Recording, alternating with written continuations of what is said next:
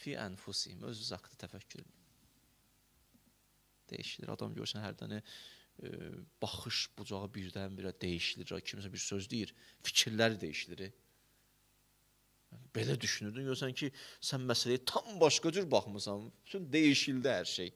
O bir nəfər deyir, gördüm, e, bir nəfərə maşın veriblər. Deyir, dayandı, deyir, qıraqdan baxdı ona.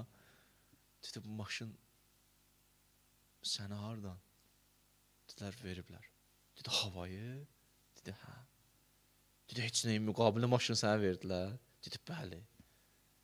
Dedi, kim verib? Dedi, qardaşım.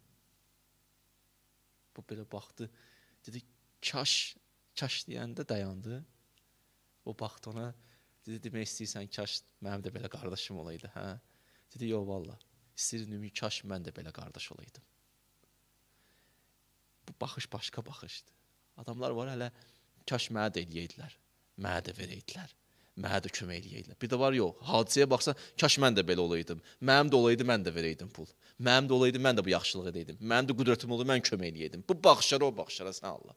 İndi bir dənə bu müsahibə alasan, çoxsun, çoxu deməyim bir qismin fikri insan nədir? Kaş mənə də. Amma kaş mən də belə olaydım. Bu fikri bütün dəyişdir, adamın baxışı dəyişdir. Bəzi insanlar üçün ən yaxşı dost kimdir? Şam kimi ərisin, işıq satsın, deyir o filan kəs çox belə dəhşət adamdır. Deyirsən niyə? Qardaş fədakardır da. Niyə? Şam kimi əriyir, elə işıq saçır, mən də xidmətindəyim. Qardaş, xidmət qarşılıqlı olmalıdır. O edir, sən etməlisən.